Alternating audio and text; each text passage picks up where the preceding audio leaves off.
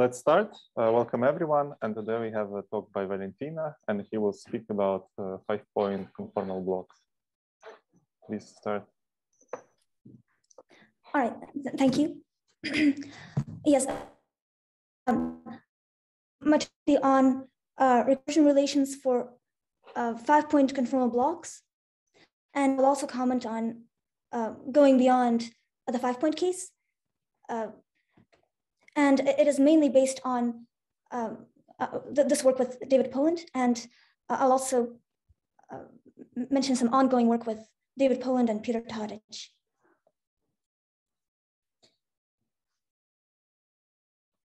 So what is the motivation for studying conformal field theories?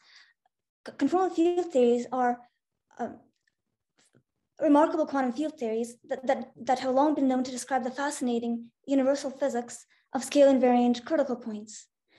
Such theories uh, are known to describe continuous phase transitions in fluids, magnets, and other materials, and at the same time sit at the heart of our modern understanding of quantum field theory.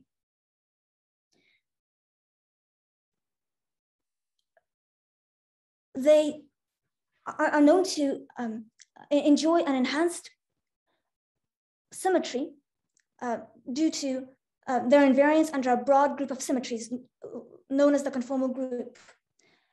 Remarkably, such theories provide a handle on the universal structure of the broad landscape of quantum field theories.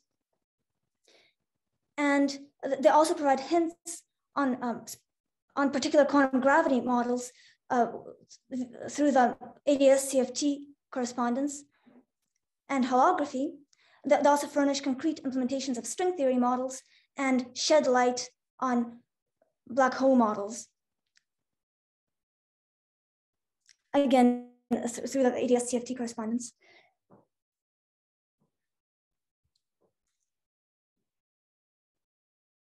Recently, there has been a, a, a, um, a revival of the so-called conformal bootstrap program which is a program that seeks to systematically apply uh, conformal symmetry along with uh, crossing symmetry and uh, unitarity constraints or reflection positivity to map out and solve the space of allowed conformal field theories.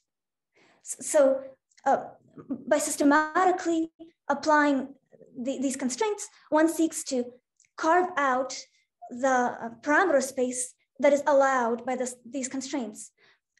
Uh, a famous example of this is uh, the, the, success in, in, the 3D Ising model, which uh, uh, on, the, on, on, the side of the numerical bootstrap, um, uh, these attempts have led to, to the world's most precise determination of uh, the 3D I, Ising model critical exponents and OPE coefficients.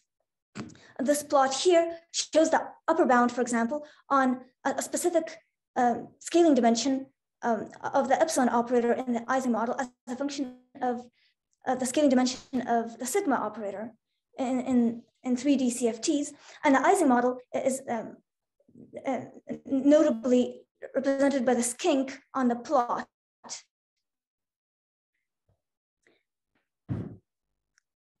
Uh, but but um, in the plot, everything below this blue curve is allowed by them um, by, by these conditions, these consistency conditions, and everything above the blue curve is disallowed. And um, as, and as mentioned, the 3D Ising model sits at, sits at this kink um, uh, shown here. And um, at this point, uh, the critical exponents and OPE coefficients of this theory have been determined to remarkable precision.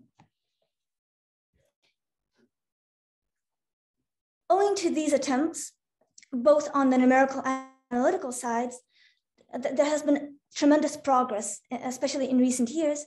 And overall, the ultimate dream of this bootstrap program is to classify and solve the complete landscape of conformal field theories, which uh, represent effectively represent uh, special places in the landscape of quantum field theories and um, can uh, can, can provide hints uh, to, um, uh, to a better understanding of uh, more general quantum field theories as well, um, notably massive quantum field theories.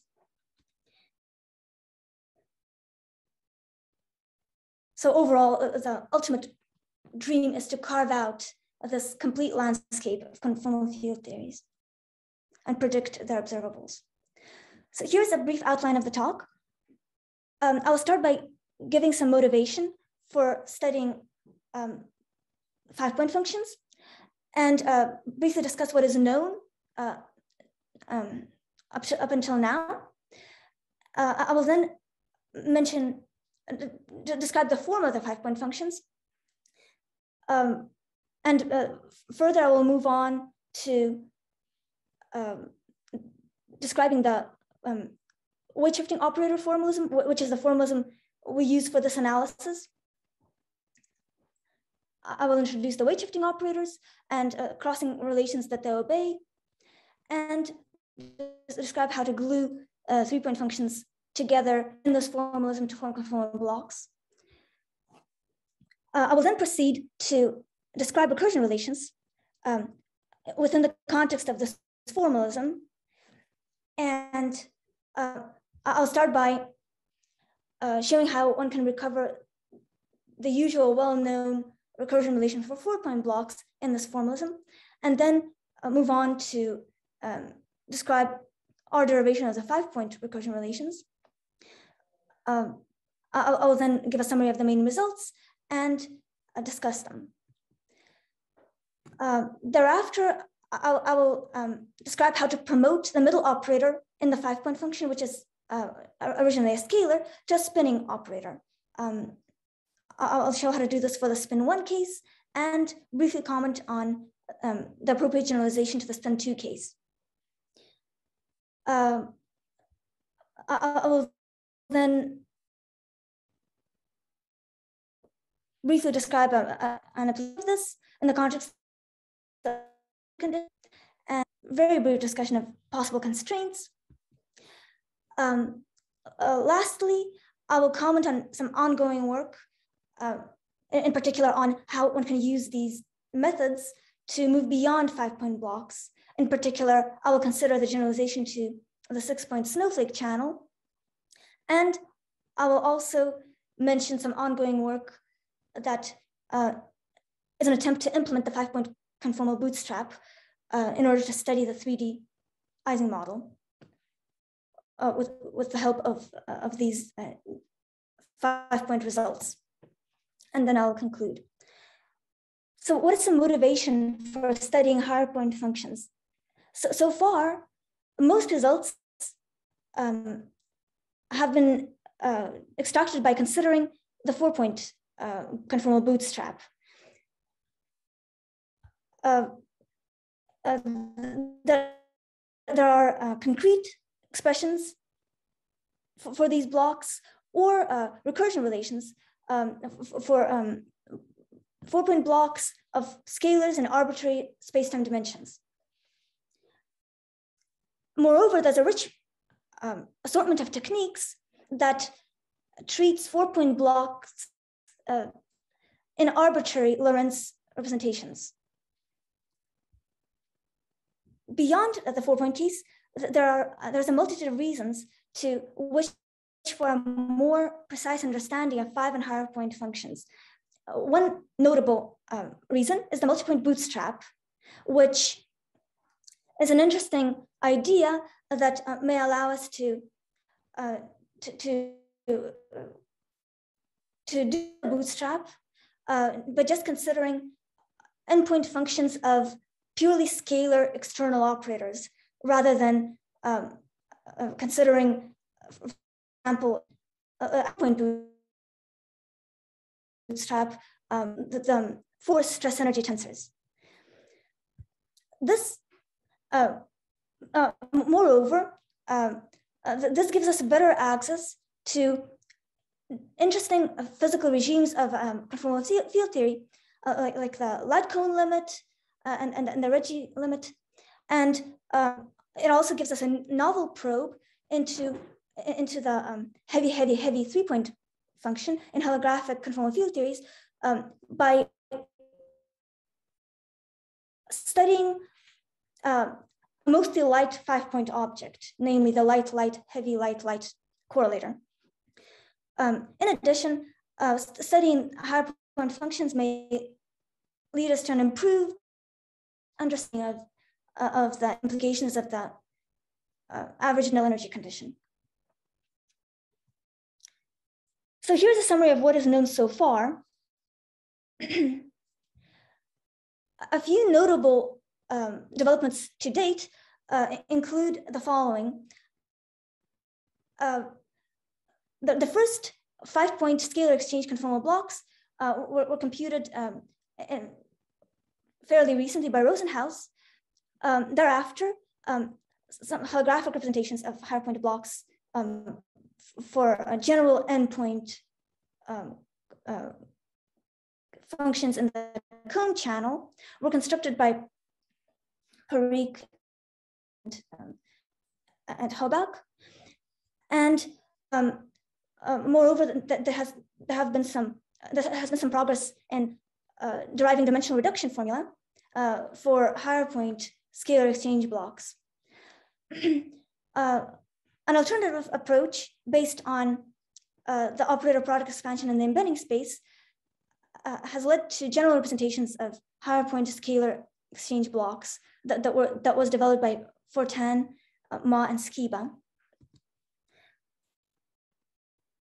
Um, however, if one considers the, capturing the exchange of spinning operators in uh, uh, higher point functions, uh, so far there have been few results. One notable exception is um, a series expansion for, for general five point blocks, uh, but only for identical scalar operators that was developed by Gonçalves and collaborators. Uh, but, but this, th this approach uh, involves uh, is limited to identical scalar operator, external operators, and uh, it, it also involves a, a, summation over nine different parameters with the, the expansion coefficients determined by uh, the Casimir differential equation.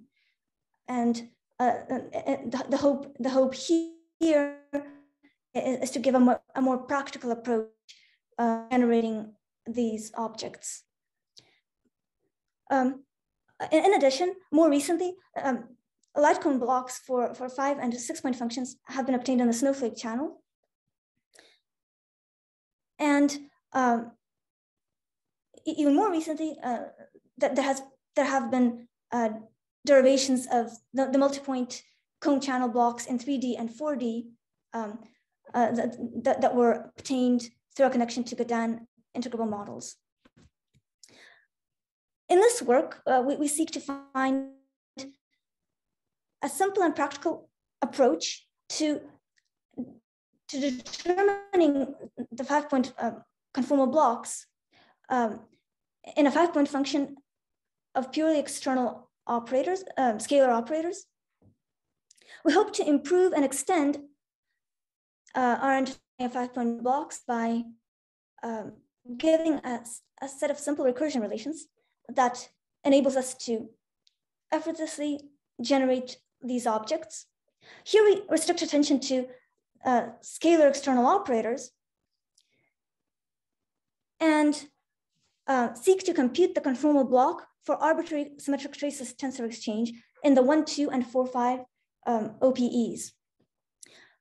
Our uh, results here may be seen as a natural generalization of uh, the original recursion relations obtained by Dolan and Osborn for the four-point case.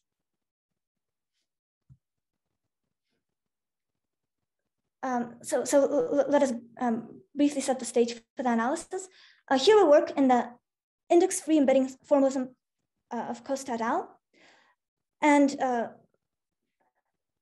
and restrict attention to, throughout this analysis, we restrict attention to parity even correlators only. And um, we choose to uh, label the, uh, our um, symmetric traceless exchange primary operators by um, the following notation um,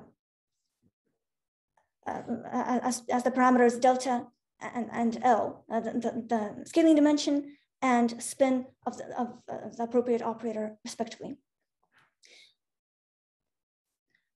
Now, the form of the five-point function of uh, general symmetric traceless primary operators is fixed by conformal invariance to be uh, as shown, where um, the uh, exponents of them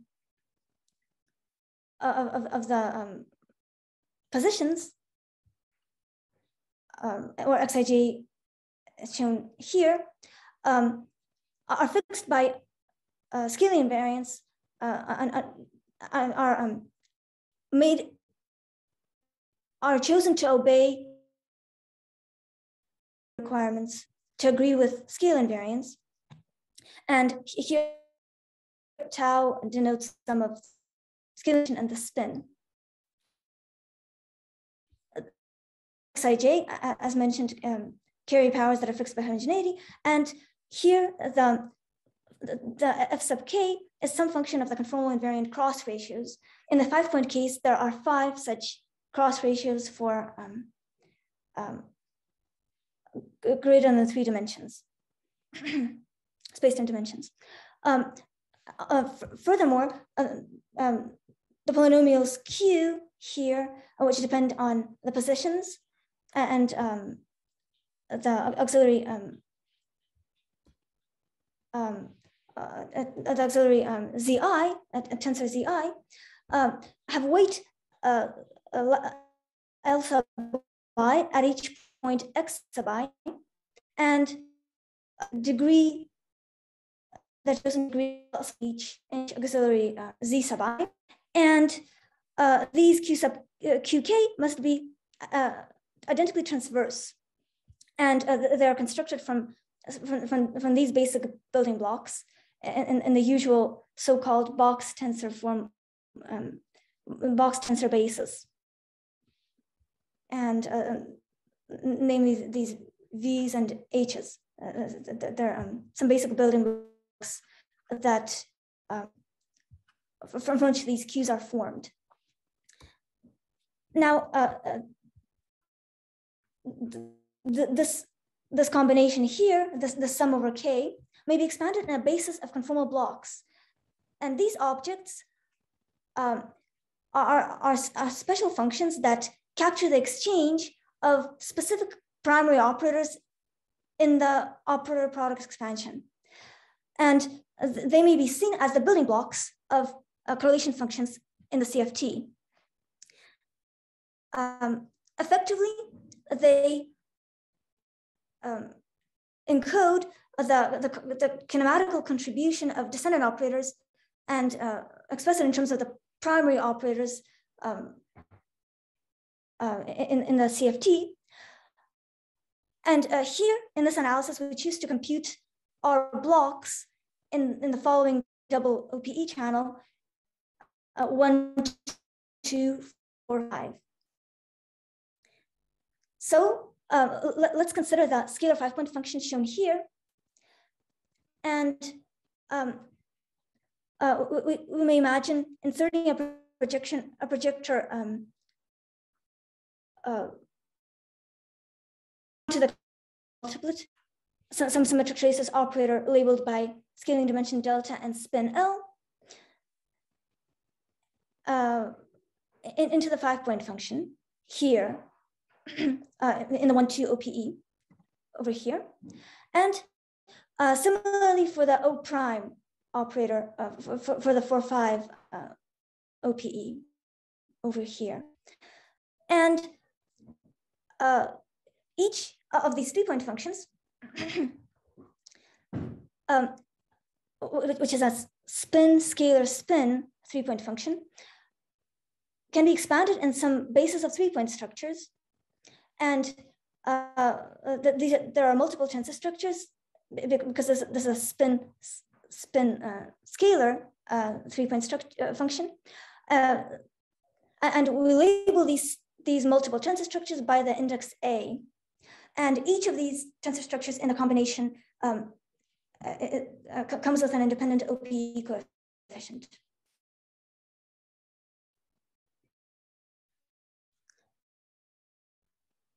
So uh, upon inserting these vectors inside the five point function, O delta L and O prime delta prime L prime, we um, find that we can express our five point function as a linear combination of, uh, of five point uh, blocks um, uh, and weighted by their OPE coefficients. And here uh, W represents uh, the, the object um, um, that, that is the, the product of, of them uh, of some external dimension independent dependent prefactor, and um, G, the five point conformal block um, for arbitrary symmetric traceless operator exchange.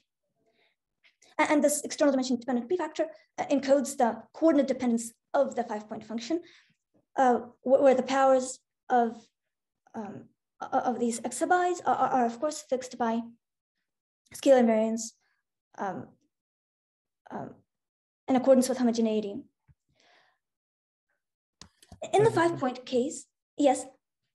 Just a just a naive question. If you want to to just to do bootstrap, um, do you have some positivity constraint on the five point function? Uh, the same way that you have for four point functions? Because in the previous expansion, I mean, it's not clear that I don't know that that it's positive. Like if you want to do numerical bootstrap. Yes. Uh-huh. Uh, I, I, I uh, normally you normally you use the fact that you know you have a sum of positive terms. Do you have an analog here or? Yes, yes, yes, you do. You have an analog. Um, uh, you you you, you make you you may um formulate an analogous uh, bootstrap equation, but in the five point case.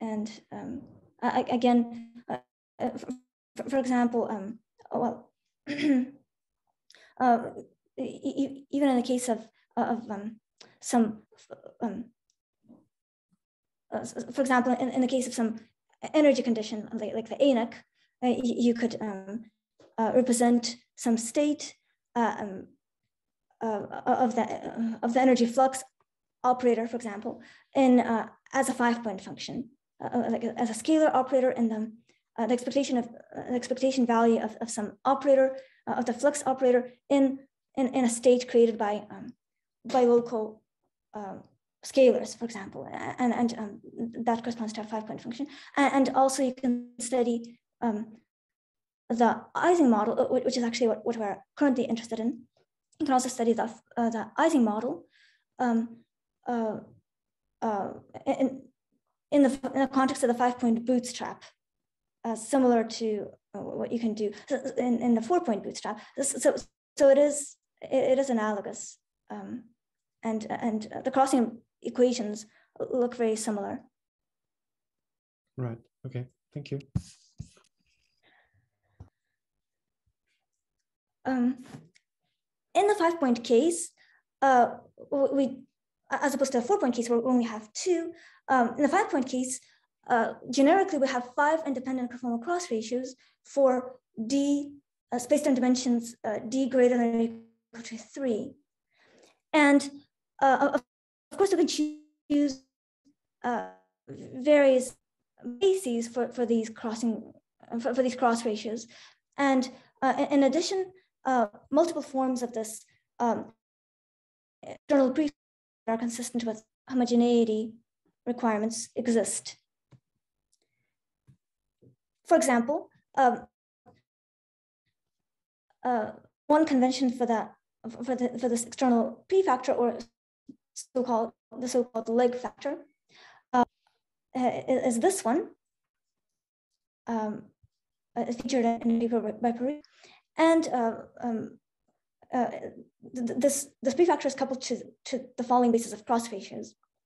And uh, in our analysis here, we choose to work in a convention independent way uh, as much as possible uh, so, so that um, uh, um, these results can be easily adapted to any choice of basis uh, as desired.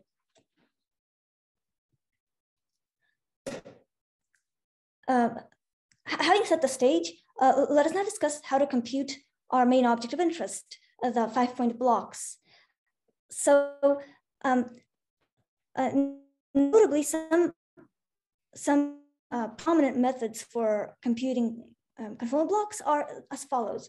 One uh, um, uh, prominent method is, is, the conformal integral approach, first introduced by Dolan Osborn and um, um and uh, later expanded upon by uh, David Simmons-Duffin. Um, in, in, addition, one can use the conformal Casimir equation to restrict the form uh, of the blocks and, and uh, potentially to solve for them. Um, for, for, example, that is what Dolan and Osborn did in the four point case. Uh, they explicitly derived the um, conformal block for symmetric traceless exchange in the context of the four point function. Um, uh, because of course, uh, the three point functions are uh, known to be uh, eigenstates of the conformal Casimir operator. And another, um, uh, more recently, uh, a, more general approach has been formulated um, that, that, that generalizes the differential operator um, approach of um, um Costa et al. Um, from 2011. Um, and uh, this is the so-called shifting operator formalism, uh, first introduced by Karateev et al. Uh, here we, we, we, choose to work in the weight shifting formalism, which we find useful because it, it um, empowers us to obtain a set of recursion relations for generating uh, five-point blocks for arbitrary symmetric traceless exchange. This formalism uh, introduces a large class of conformally covariant differential operators. And these operators are useful because they may be uh, uh, used to, to relate uh, correlation functions of operators in different representations of the conformal group. And um, a key advantage of this method is that it, uh, it um, as opposed to the um, original um, differential operator formalism from Costa et al., it, uh, it allows us to uh, change the, the, exchange, the exchange representation. Uh, it, it, not, not only, so, so, so that approach uh, allowed us to um, get more general blocks um, uh, by writing them in terms of seed blocks and left the seed blocks to be extracted using other methods. But uh, one, one um, advantage here is that it allows us to, to also determine the seed blocks themselves, as well as these more general blocks that can be um, encoded in terms of these seed blocks. And uh, moreover, a natural feature of the formalism is that it um, allows uh, us, us to efficiently derive recursion relations. It's a feature that is essentially built into the formalism. So uh, these weight shifting operators are, um, are a, a, set of operators that uh, correspond to tensor products of different finite dimensional representations. And each set of such operators is associated with some particular um, finite dimensional representation. And here this A is an index that uh, um, represents um, an index for W. And V refers to a weight vector of W. So uh, for example, this W can be the uh, fundamental vector representation. And um, the, the idea is that, that uh, these operators are in one uh, that, that, that are associated with some finite dimensional representation are in one-to-one correspondence with the irreducible components of, of, of, the, of this tensor product decomposition uh, of this um, dual W and uh, the, and this V, which is the representation under which the operator O transforms. And the action of such operators, uh, differential operators on O, is to shift the weights of the operator by the weights of V, the, this weight vector, while introducing a free A index. So effectively, they uh, when, when the operator acts on, on uh, D acts on some operator O, it uh, the missing degrees of freedom are transferred to this free index A. And for, for example, an action of, of such an operator can be to increase or decrease the spin or dimension of O. And, uh, and uh, these operators are, are um, the, um, basically the, the eigenvectors of the Cartan subalgebra of, of this um, associated with this um, uh, with this W. We may construct, uh, uh, the framework is completely general and uh, can, can, be constructed in any uh, formalism, but here we, we um, which used to work, since we're working in embedding space formalism, um, we are interested in, in, um, in using the form of these operators uh, uh, explicitly in this, in this formalism. And here we focus in particular on the case of symmetric traceless tensors of SOD. And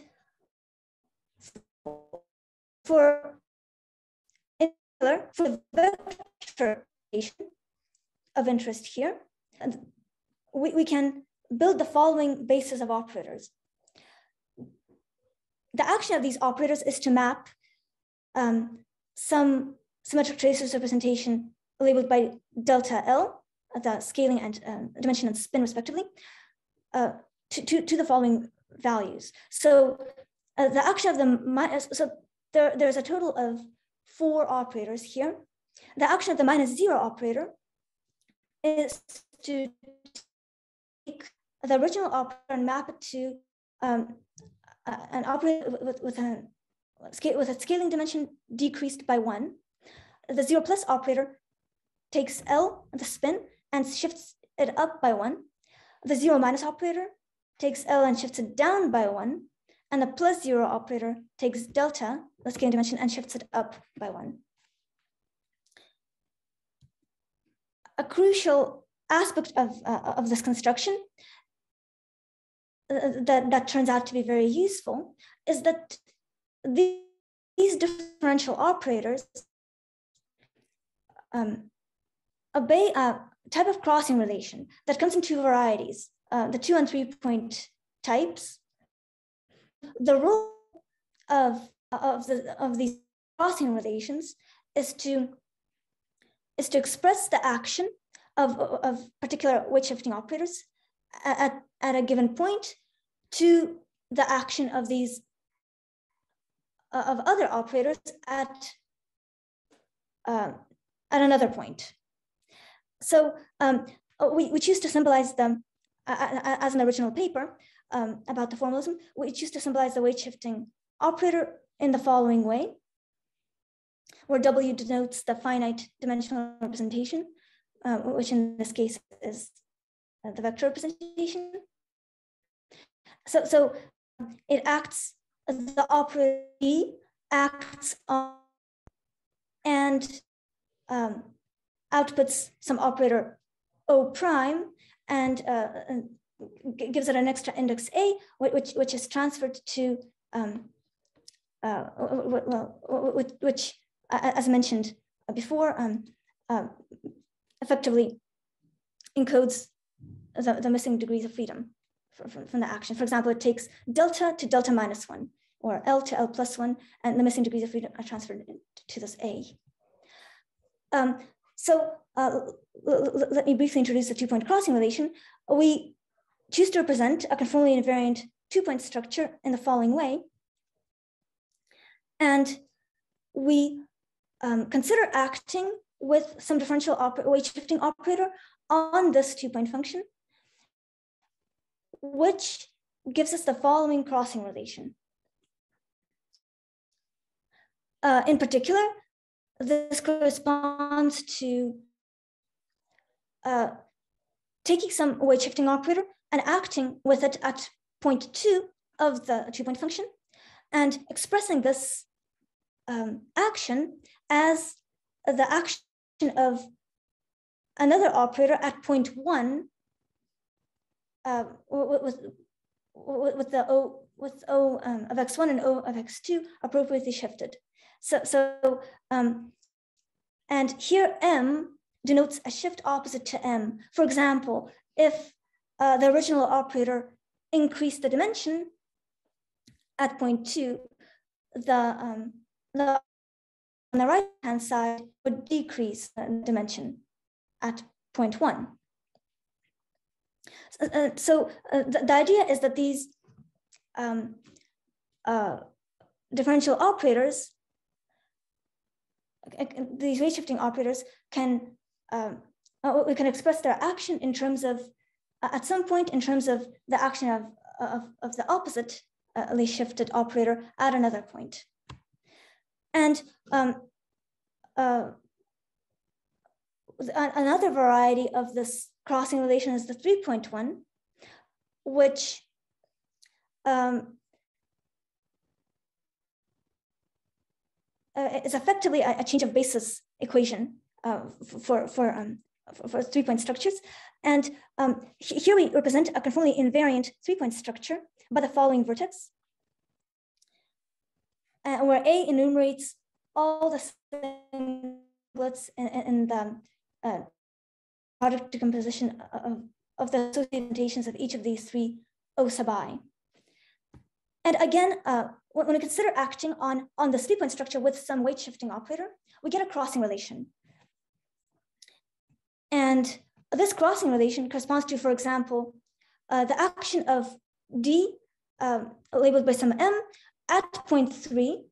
Uh, and we can express this action on the right-hand side by uh, uh, a linear combination of operators acting at point one.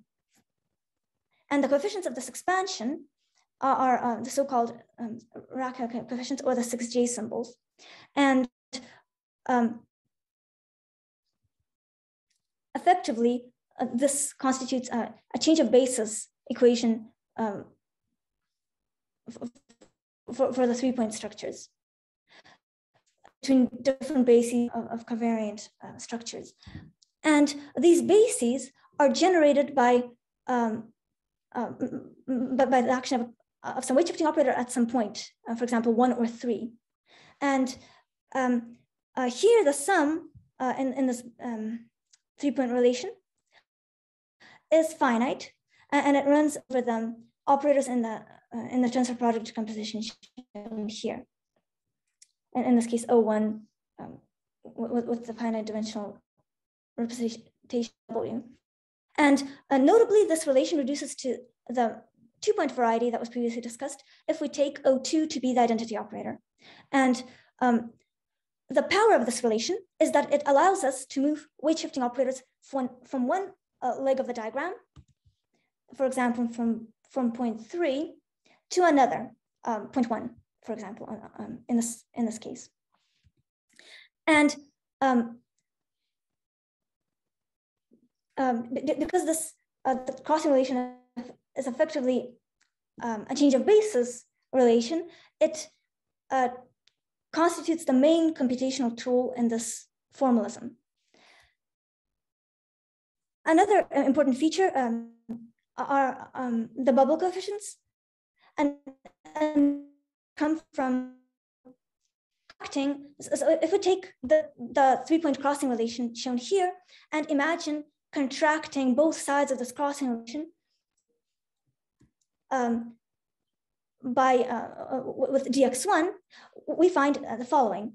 Uh, so on the left-hand side, we, we have some um, scalar product of, of um, dx1 dot dx3. And on the right-hand side, we have um, a, a, product of uh, operators that are contracted acting at the same point on the right-hand side. So, uh, and this composition corresponds to uh, the so-called bubble diagram. And it is in fact proportional to Kronecker delta. So, so it, is only non-zero if O1 prime and O1 double prime coincide. And this feature is interesting because it allows us to, and, and useful because it allows us to um, uh, effectively extract um, various coefficients that we require. So um, let, us, let me now briefly mention how to glue uh, three-point functions together to form conformal blocks in the context of this formalism. Uh, a standard way to encode uh, a conformal block is by expressing it in terms of a conformal integral of a product of three-point functions. For example, uh, the usual scalar exchange block in a, a four-point function of um, external scalars has the following form, shown here, where m um, denotes the appropriate projection onto some monodromy invariant subspace that allows us to um, get rid of the um, unphysical shadow blocks. And uh, in the context of the weight shifting formalism, the operation that glues point correlators, in this case, phi 1, phi 2, O, and the, the shadow O, phi 3, phi 4, is symbolized by the following operation, uh, where this bow tie operator denotes um, exactly the, um, uh, th th this, um, it, it, denotes the insertion of this projector onto um, the symmetric traceless representation that we're interested in, um, which is shown here. And the, the usual conformal shadow integral. So for spinning operators, um, uh, these O, O delta rows are to be glued to some representation with which it has a non-vanishing two-point function. And um, so, so, so, in, so in particular, some dual operator uh, with which, for, for which um, it has a non-vanishing um, two-point correlator. So uh, in, in terms of this um, bow tie notation, uh, we can therefore denote a general four-point block in the following way. Uh, Valentina, uh, I have yes. a, a, question. How far are you in your talk? Because it looks like you're moving somewhat slowly. You still have lots of transparencies and we're already 44 minutes. Right. Uh, I'll, I'll, speed up or right. skip something. Okay. Um, our, our general strategy here is to uh, act with specific combinations of operators on a given block and then apply two and three point crossing relations as uh, needed. And uh, the, the ultimate goal is to express the original block in terms of uh, linear combinations of lower spin blocks with shifted uh, external and potentially shifted exchanged uh, operator dimensions. So, so um, in, in, particular, the original block would be expressed in terms of lower spin blocks, which is uh, um, essentially a, a, recursion relation. And uh, to implement this kind of technique, we require a mechanism for integrating our parts. So in particular, uh, if we, uh, this is the, the following statement, if we act on some operator O um, that, that is um, um, glued to some O prime um, dagger, uh, we, we can relate that to some combination of um, O to uh, that different operator uh, on O prime dagger with the opposite shift. And, and this is effectively um, the two-point crossing relation mentioned earlier. And uh, the power of this is uh, of this um, statement is that it allows us to move the weight shifting operators from one side of the bow tie to the other. Let me now describe the basic procedure for extracting relations. Uh, I will start by considering the four-point scalar case. The, the scalar blocks are defined the following way. Uh, we now choose to act with on this object with the following combination of operators.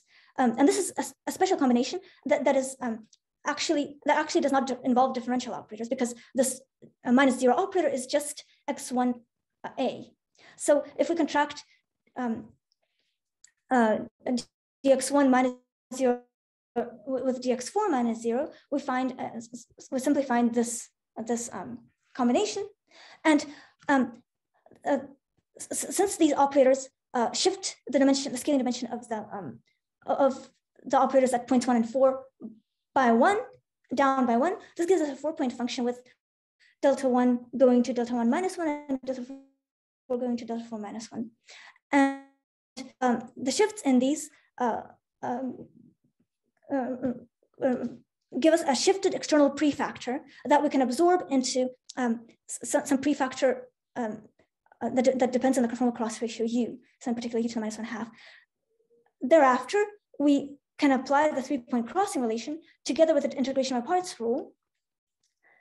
And in this three-point crossing relation, we would sum over them um, the, the um, tensor product decomposition of the vector, uh, the fundamental representation uh, with, with the symmetric traceless operator, uh, representation of a symmetric traceless operator of interest.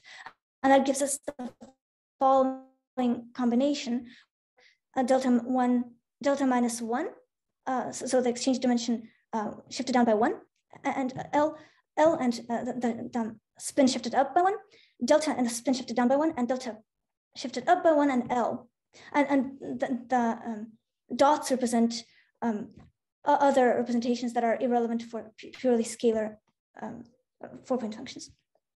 The result of doing this is a familiar recursion relation that is uh, due to Dolan and Osborn.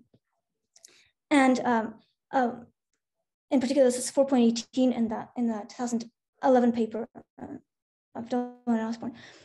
We now uh, desire to generalize this analysis to the five point case. The basic idea, again, just like in the four point case, is to express the five point block uh, in terms of lower spin blocks.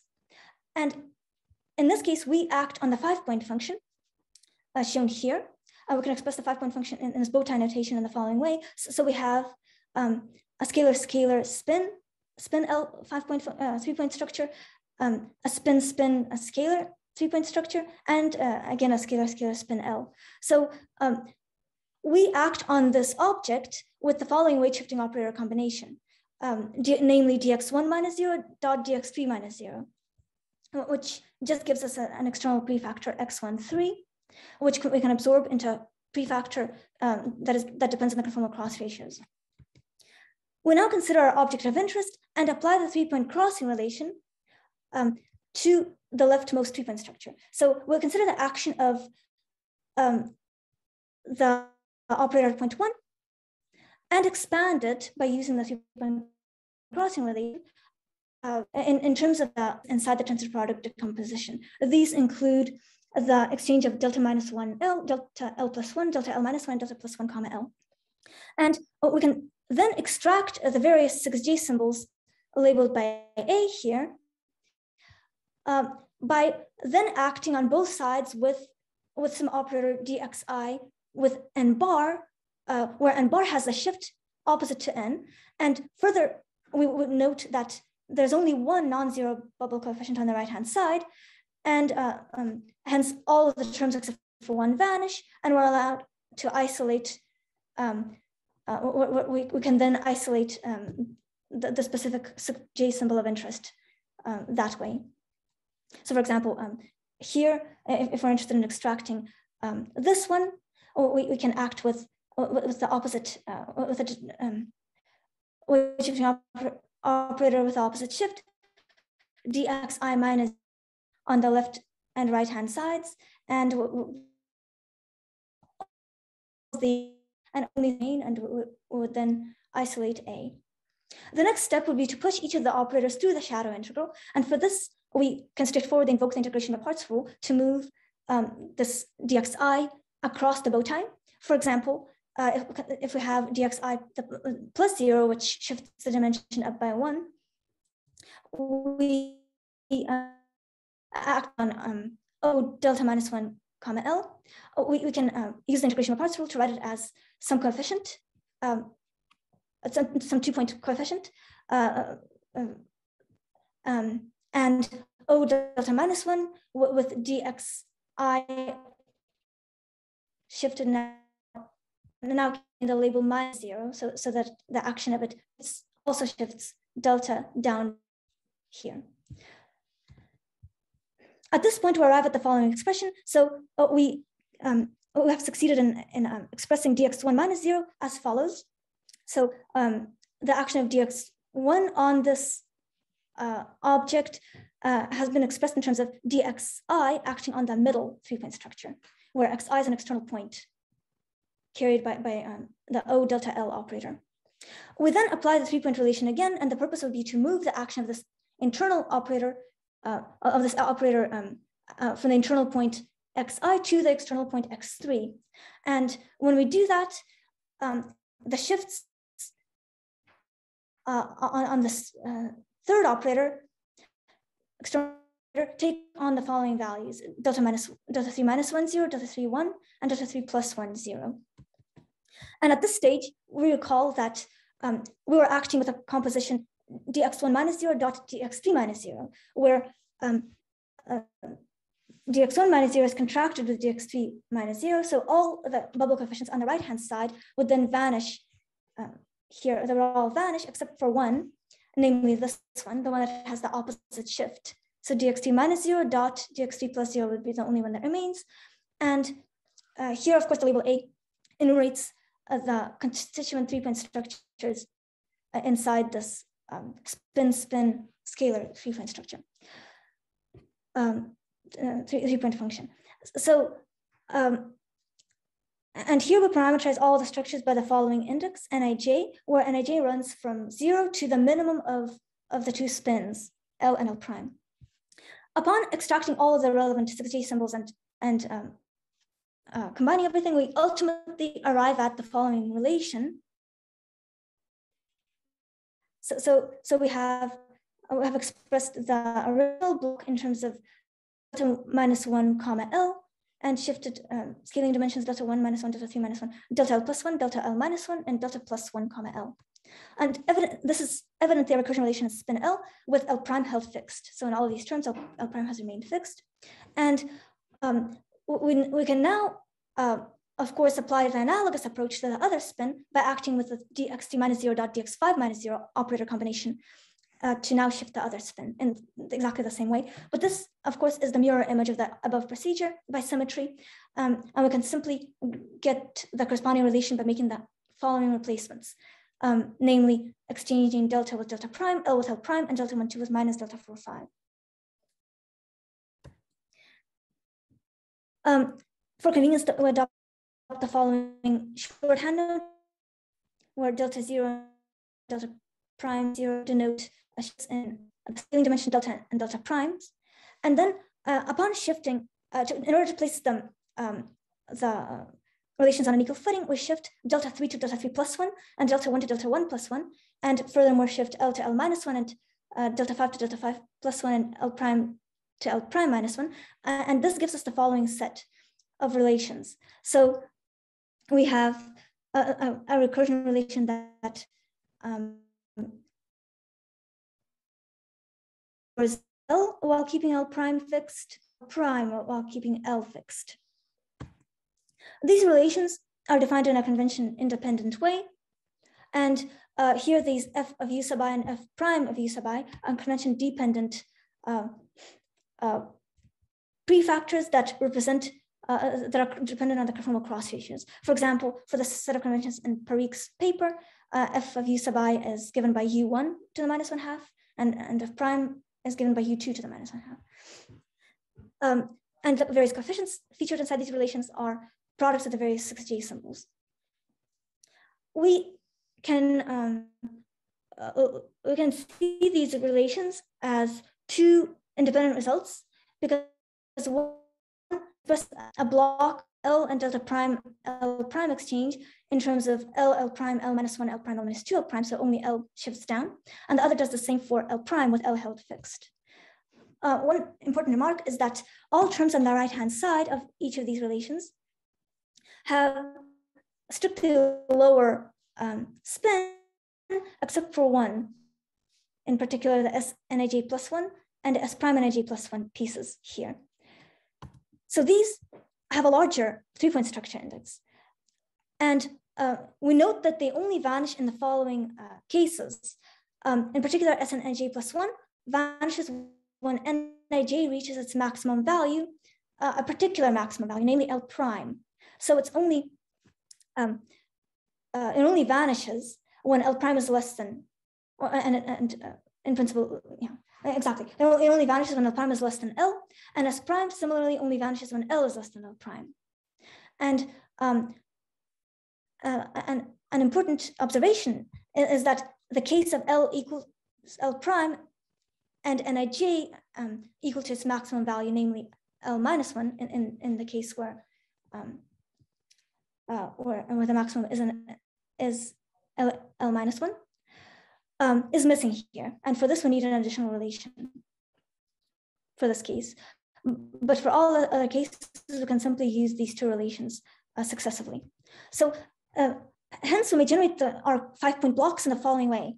So in the case that L prime is less than or equal to L, we start from the seed um, where Nij is equal to L prime, the maximum, and iterate the first relation, the one that shifts down L until L prime, uh, until this condition becomes violated, until L prime becomes greater than L.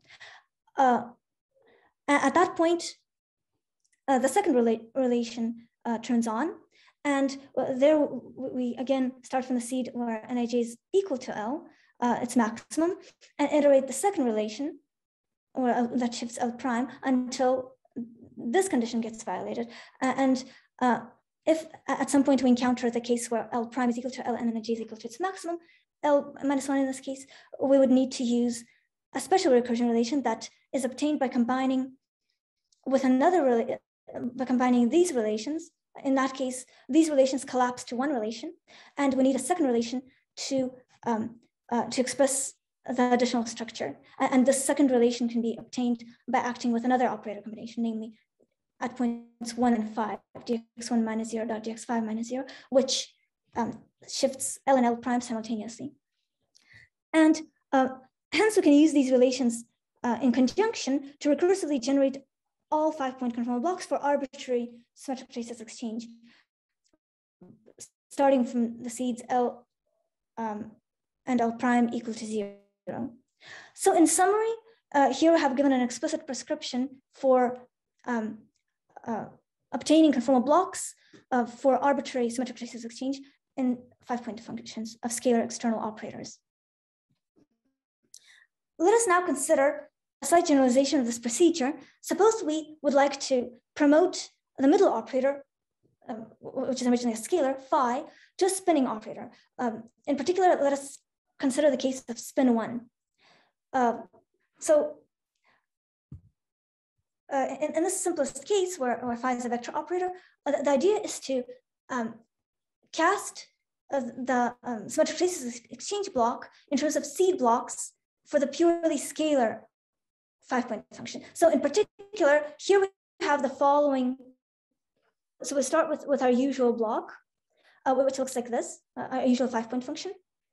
And uh, the change that we want to make is we want to take the middle three point structure and take the O phi O prime to O V O prime, where, where this is some vector operator at X3.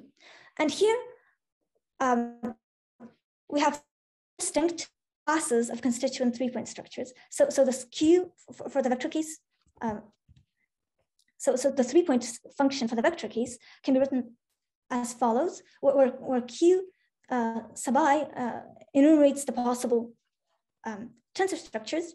And, uh, and here, here we have three distinct classes, namely uh, this one, this one, and this one, where uh, for, for each case, uh, for example, i equals one the, the first class only exists for Nij in the range from zero to the minimum of L and L prime.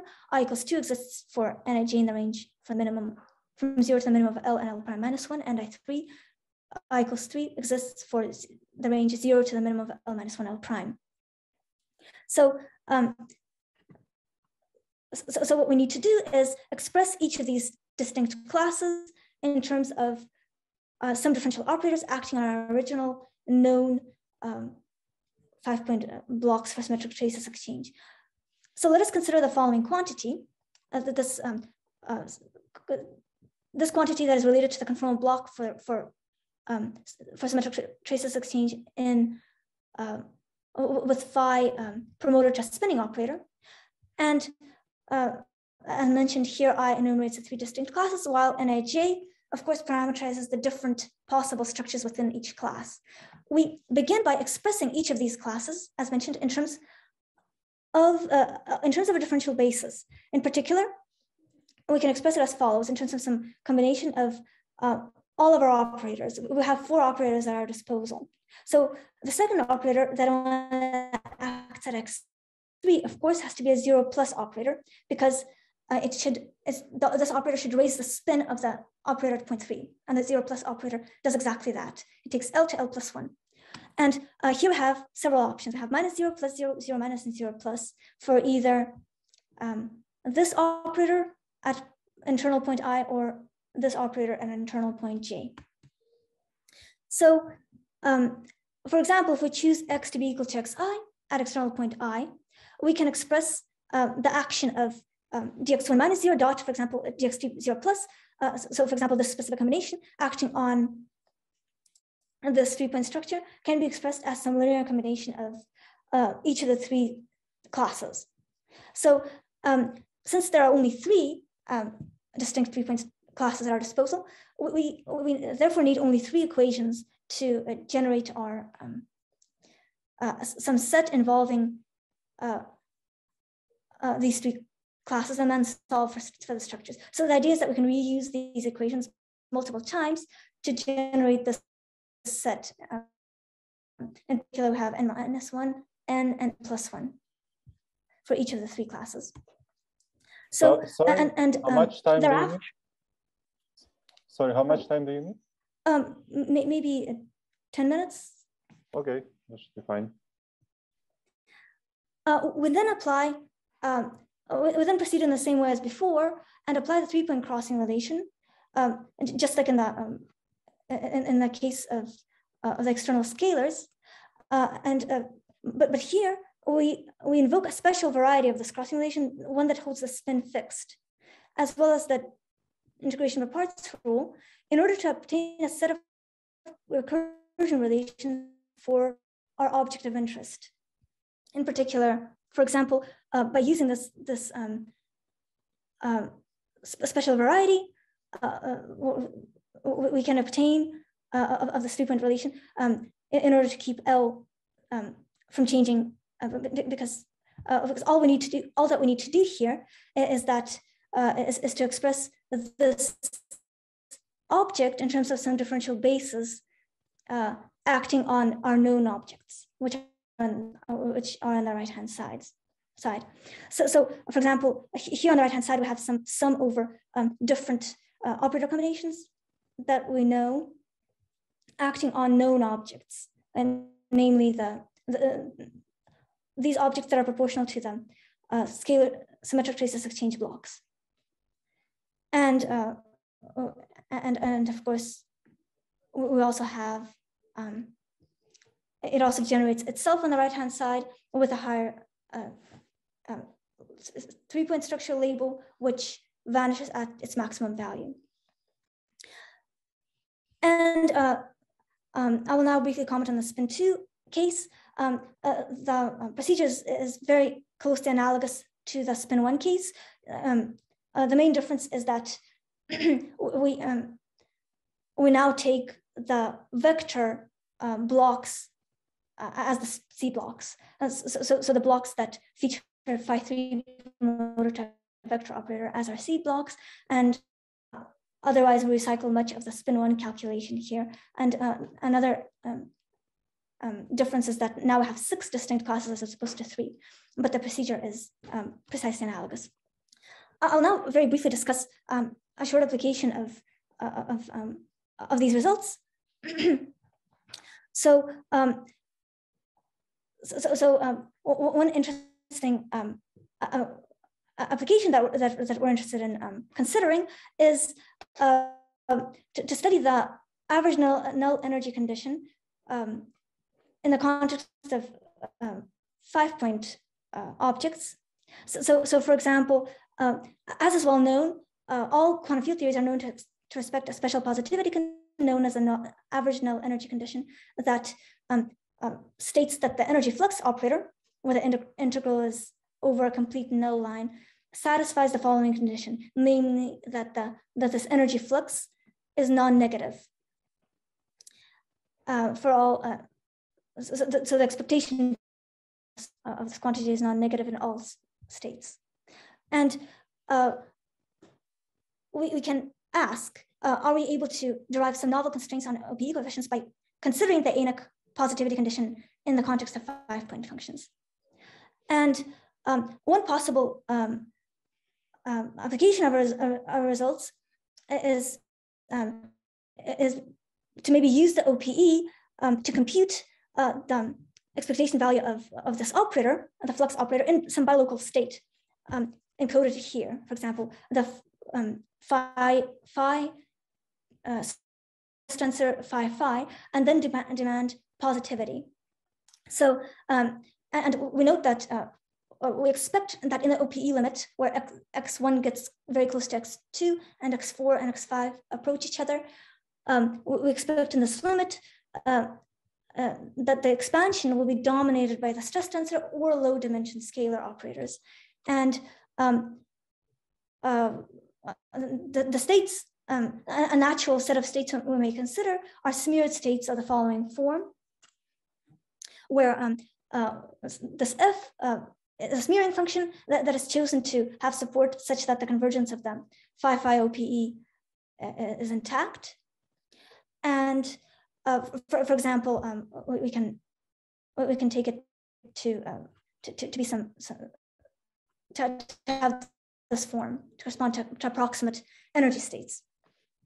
And um, uh, beyond this, we, we may, um, so, so, so th this can give us some constraints on OPE coefficients um, for, for such states.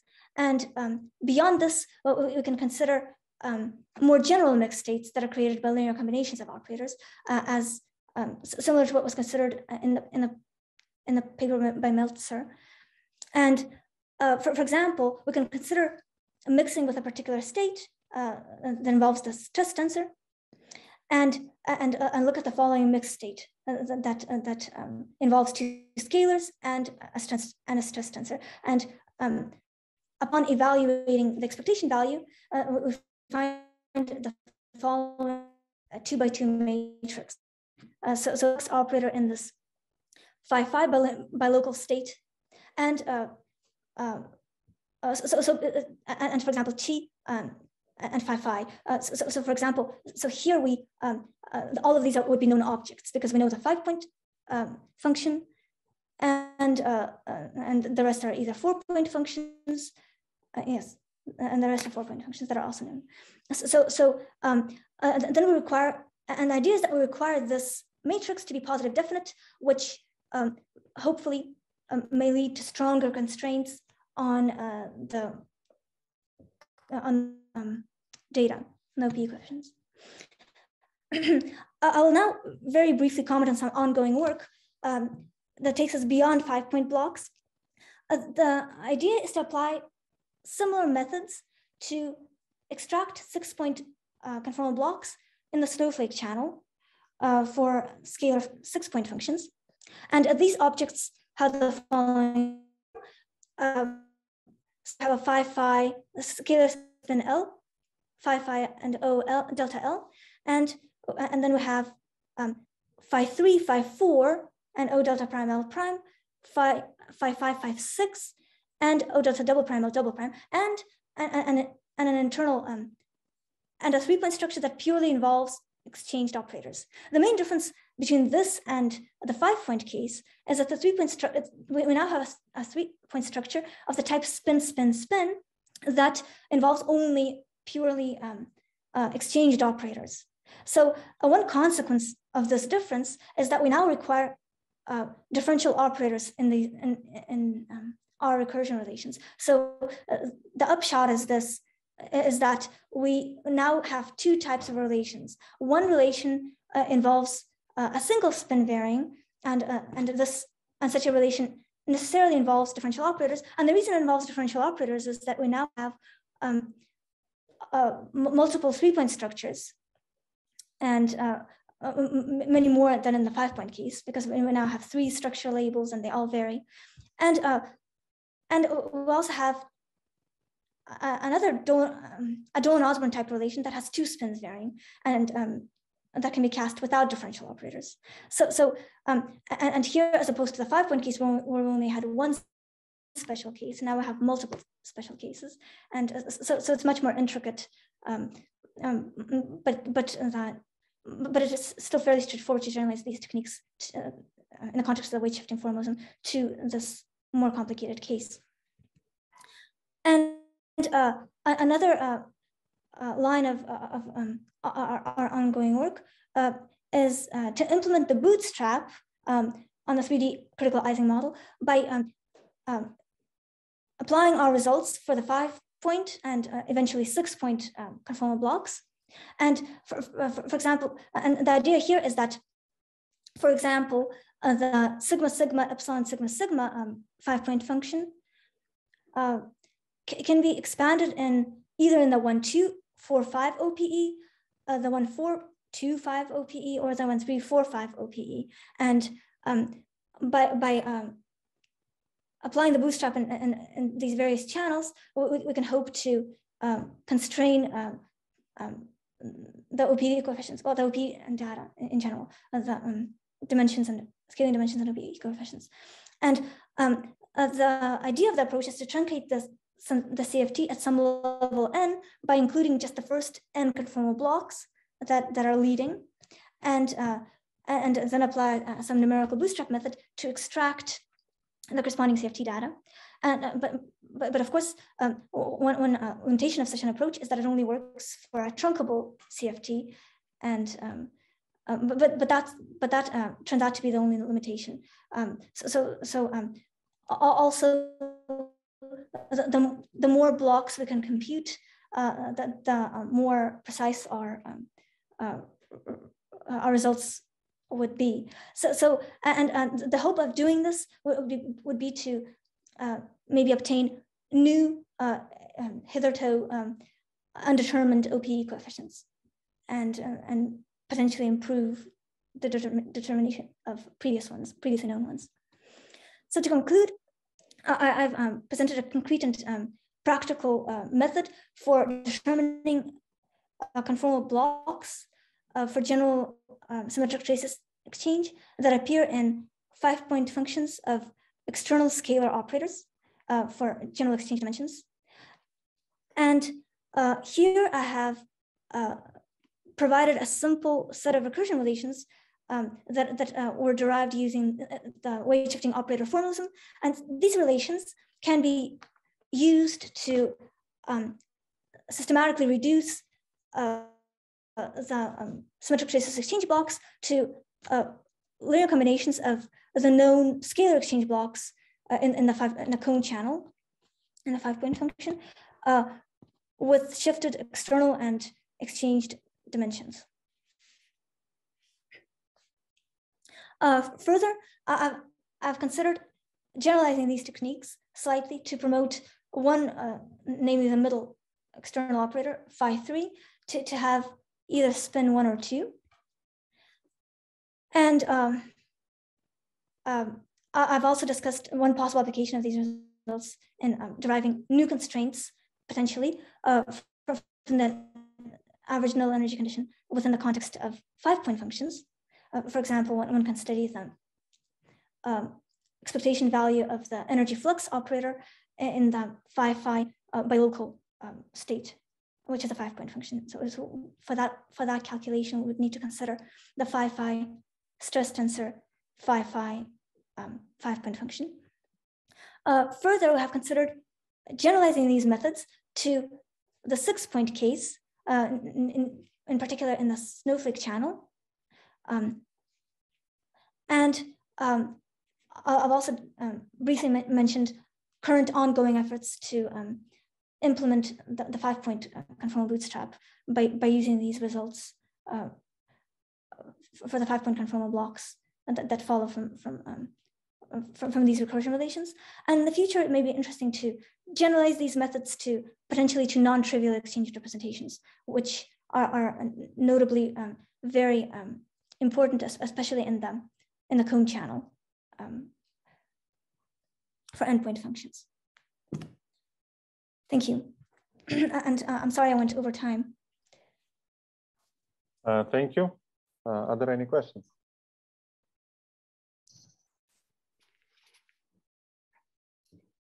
Uh, so you considered only, uh, you assuming dimensions are equal three or higher, right?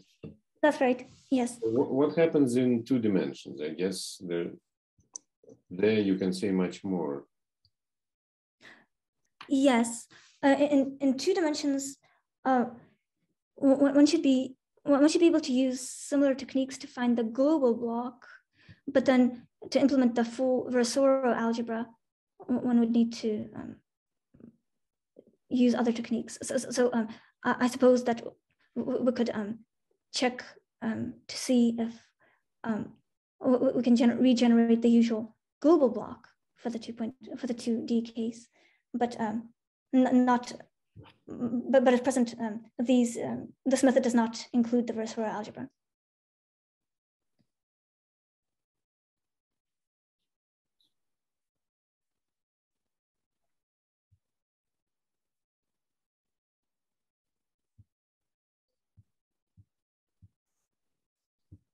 Okay, can you explain, like last slides, you mentioned that people try to do this bootstrap uh, with higher point blocks. How is it advantageous to the usual one? Like, is it oh. technically oh. simpler? Or... Yes, yes. Well, uh, one of the advantages is that it packages the information about the um, uh, theory in a different way.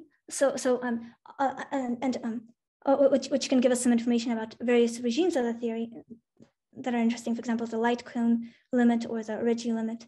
But um, also another advantage is that uh, in the four point case, we would need to consider a spinning um, four point function in order to get all the information about the theory. In particular, um, notably, we need to consider them as the four stress tensor four point function and all of the non-trivial exchange representations um, uh, for that case. Simpler? But, but in the five point, sorry.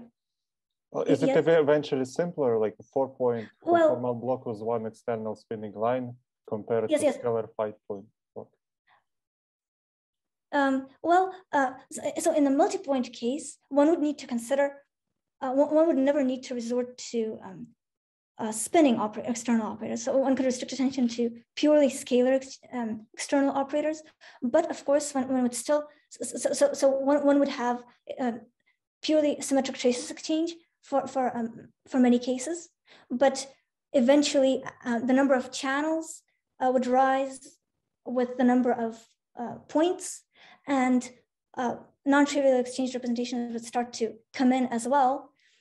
Um, so, so um, it, it, and, and of course the form of these functions is, is more complicated than, than the four point case, but the idea is that maybe one would need to one would need to include as many uh, non-trivial exchange representations, and one, one also would need to um, consider external um, uh, spinning operators. And, and uh, like I said, another advantage is that we can read, it gives us another way to package the information on the theory. Sorry, by non-trivial, you mean spinning or? Yes, yes, but non-trivial, I mean spinning, yes. But, but of course, uh, here, um, uh, one, um, one challenge is that the number of channels grows with the number of points. Yeah. And do you have uh, mixed symmetry fields? So I would, uh, yeah, sorry, could you repeat that? Do you, do you encounter mixed symmetry fields? Like in general D, I would expect that. Oh, yes, yes, yes. Uh, you mean, yes, exchanged, you mean exchanged, um, yes. Uh, yes, yes, of course you do.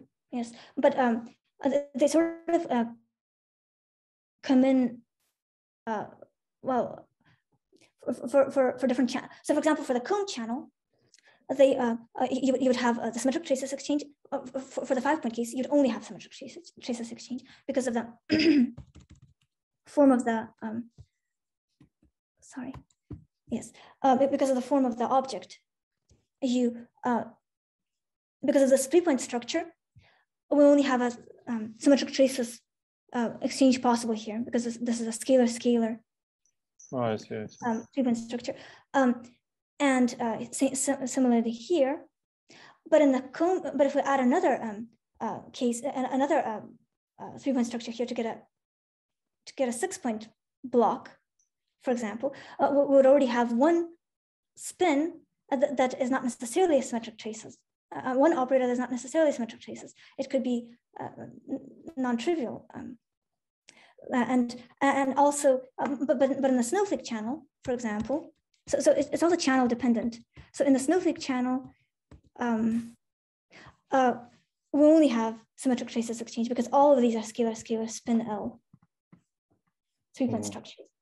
But but in the comb channel, for example, at at uh, six points already, uh, we um, have non-trivial um, representations that can be exchanged. But but but again, uh, well, one one advantage that that was um, recently made, uh, I mean, one advance that was recently made in, in this um, uh, in this multi-point uh, analysis uh, is that um, Feynman diagram type rules were were um, constructed to um, basically generate all, uh, possible channels uh, for, for, the sca pure scalar exchange case. So, so, so the idea is that if, if we're somehow able to um, express those, express these these uh, spinning, uh, these non-trivial um, exchange blocks in terms of some operators, for example, um, linear, linear combinations of operators acting on uh, on on um, on some seed uh, representations, and then we're going to iterate um, all, well, use these to iterate down to, to these known um, uh, scalar exchange case for, for cases for all channels. So, so, so uh, um, it, it is conceivable that one can come up with a generalized uh, way to do, to uh, treat these uh, all these channels and e even these non-trivial representations within the context of this formalism or or, or um, other formalisms. Mm -hmm. I see. Uh, other questions?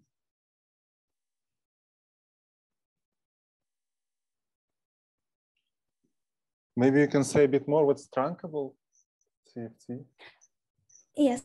Uh, yes, well, well a, trunkable CFT uh, uh, is, is one that um, is, well, uh, it, it's defined, it can be defined, defined precisely, um, um but um, the idea is that um, we can consider just including the first n conformal blocks in the CFT uh, and, and, approximate the contribution that we're interested in by these first n blocks. And um, that, that, that, of course, uh, is valid provided that this, this approximation is, um, is, is, valid. So, and, and in particular, um, one defines that by um, um, uh, requiring that the that um, one can set up the bootstrap equations for, for, the, for the particular case that we're interested in, for the particular CFT, CFT and um, see that the first, uh, that, that, for m greater than or equal to n um, homogeneous equations, uh, we, we get um, um, a, um, a, good solution. So, so if, if, if the system is soluble, basically, for, for, for this case, then uh, we um, then, then the theory is trunkable at that level. For if, if these m homogeneous equations are trunk are um, can be solved uh, for m greater than or equal to n, then uh, the, the, CFT is trunkable at level n. If not, if we get if we get some uh, if I don't get do not get a solution, then we've included too many blocks and we need to truncate more. Or um, so, so so yeah. So, so, so the idea of this method is that it's it, it really is limited by how trunkable the theory is. And let's say uh, the Ising model, is it trunkable or not? Yes, at, at some level it is. Um, but, but, uh, but, but, but of course, uh, the, the, this, um, this um, approach also is, is more, um, I mean, uh, so we can always inc increase n um, and, and uh, that is that is determined by, by how easy it is for us to compute these blocks. So if we're able to um, compute uh, a large number of blocks up to a pretty high level n systematically and uh, with, with, um, with high precision and um, uh, in a way that, that, that is computationally um, um, practical, then uh, we can always truncate the CFT at a, at, at a higher level. Um, by, by including more and more blocks. But, but of course, that, that is limited by, by how effective our the, the computational methods are also. Mm -hmm. But there's some minimum L, but there's some minimum level N at which this procedure works, of course. Uh, so we can't truncate lower than that because, um, for example, um, then, then we wouldn't get a solution. Uh, another thing, uh, question, like what is the form of the answer that you get? Uh, so I, I guess, so you have the seed block which is already some kind of hypergeometric series, right? And then That's we need to solve a differential equation involving it, right? Uh, no, no, no. You, you don't solve a differential equation. You you use these uh, in in this in this approach. You use these recursion relations to uh, iterate down to the seed block that is a scalar exchange block. Ah, and it's all algebraic. Right. So, ah, yeah, yeah, so so, so, you reuse these recursion relations multiple times until you reach the zeroth node, which is the scalar exchange keys.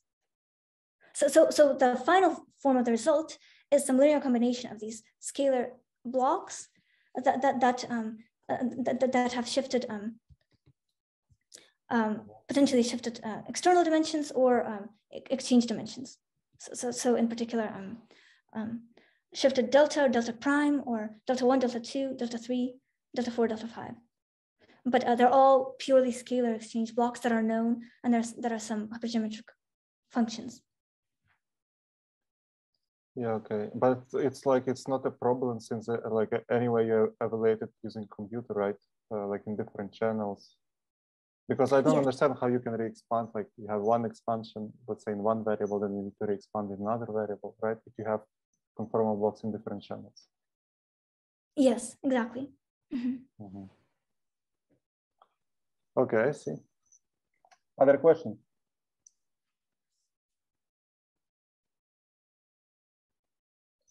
Okay, um, there are no other questions. Thank you very, uh, very much for a nice talk. Thank you. I'm sorry I went over time. oh, it's okay. Uh, thank you everyone for coming and see you thank next you. time.